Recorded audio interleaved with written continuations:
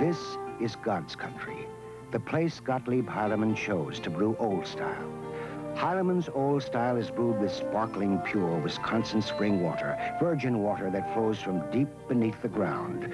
Brewed in an old world way called kraeusening, the most natural way to brew beer and the most expensive. Try Old Style, pure brewed in God's country, and taste the difference kraeusening makes.